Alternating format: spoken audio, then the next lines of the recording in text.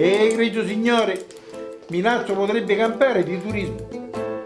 Tutti quelli che vengono qua dicono che è meravigliosa, è stupenda, però è un po' caotica.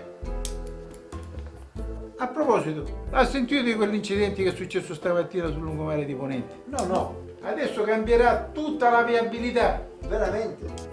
Non sapevo niente. Qua sul giornale non c'è scritto niente. Cambierà tutto. Ci saranno rotonde agli incroci, isole pedonali in marina, cambieranno i sensi unici. Ah, Bene. Anche quello accanto al Duomo, vero? No, che no. Mangiare pesce buono è diventato difficile. A proposito, ha sentito di quello squalo che hanno pescato a Baccarella?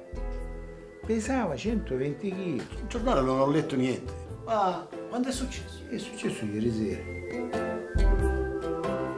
Hai capito perché le navi da crociera non verranno più a Milazzo? Eh sì, è proprio vero che se uno vuole sapere le ultime notizie su Milazzo deve venire dal barbiere. Troppo buono, ma ti posso assicurare che non è più così.